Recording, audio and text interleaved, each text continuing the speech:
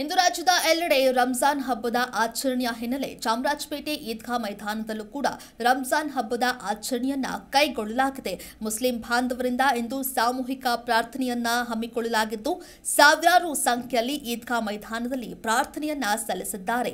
ಪ್ರಾರ್ಥನೆ ವೇಳೆ ಯಾವುದೇ ರೀತಿ ಅಹಿತಕರ ಘಟನೆ ನಡೀಬಾರದು ಅಂತ ಬಿಗಿ ಪೊಲೀಸ್ ಬಂದೋಬಸ್ತನ್ನ ಕೂಡ ಆಯೋಜನೆ ಮಾಡಲಾಗಿತ್ತು. ಇನ್ನು ಸುಮಾರು ಮುನ್ನೂರಕ್ಕೂ ಹೆಚ್ಚು ಪೊಲೀಸರಿಂದ ಈ ಒಂದು ಬಂದೋಬಸ್ತನ್ನ ಕೈಗೊಳ್ಳಲಾಗಿದೆ. ಈಗಾಗಲೇ ಪ್ರಾರ್ಥನೆಯ ಹಿನ್ನೆಲೆ ಮೈದಾನದಲ್ಲಿ ತಯಾರಿಯನ್ನ ನಡೆಸಲಾಗಿದ್ದು, ಈಗಾಗಲೇ ಮೈದಾನದಲ್ಲಿ ಸ್ಪೀಕರ್ಗಳ ಅಳವಡಿಕೆ ಕೂಡ ಸಾಧ್ಯತೆ ಇದೆ. ಇನ್ನು ಬ್ಯಾರಿಕೇಡ್ ಹಾಕಿ ಬಂದೋಬಸ್ತನ್ನ ಪೊಲೀಸರು ಕಾಪಾಡಿಕೊಂಡಿದ್ದಾರೆ. ಪಶ್ಚಿಮ ವಿಭಾಗದ ಡಿಸಿಪಿ ಲಕ್ಷ್ಮಣ್ ನಿಂಬರಗಿ ನೇತೃತ್ವದಲ್ಲಿ ಭದ್ರತೆಯನ್ನ ಕಲ್ಪಿಸಿಕೊಡಲಾಗಿದೆ.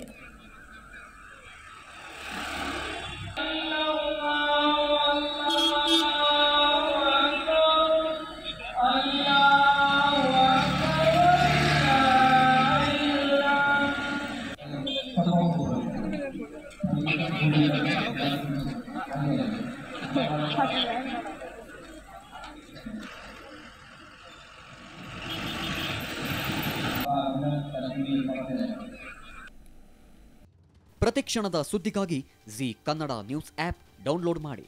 Live TV latest updates entertainment lifestyle technology ಸುದ್ದಿ ನಿಮ್ಮ ಅಂಗೈಯಲ್ಲಿ.